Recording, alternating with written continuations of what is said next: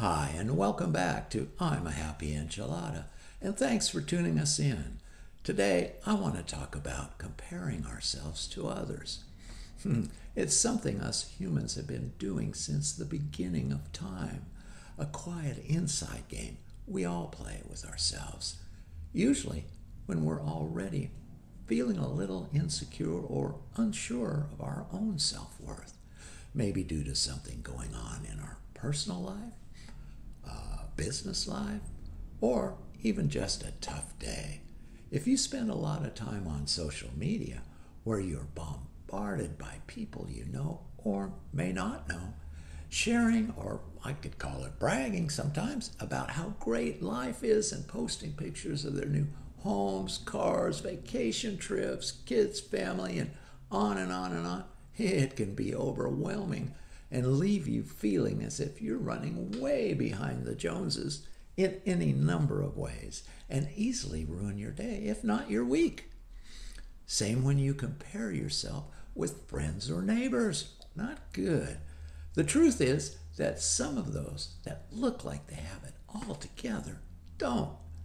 They may be deep in debt and hanging in there by a thread to maintain that image. Perhaps their marriage or relationship is a shambles and every day is high stress for them.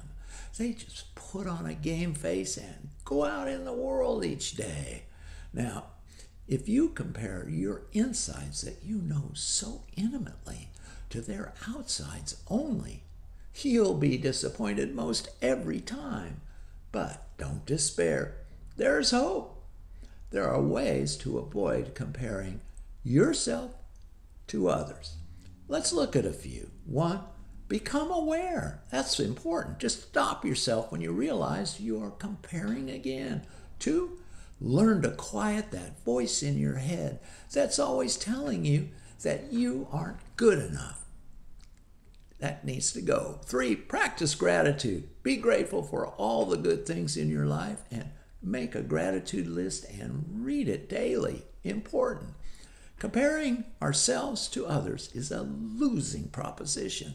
Awareness is the ultimate weapon for ridding ourselves of self defeating behaviors, and patience is essential in staying the course. Remember, change your thinking, change your life. Well, that's all I've got. So until next time, God bless and be a happy enchilada. Bye.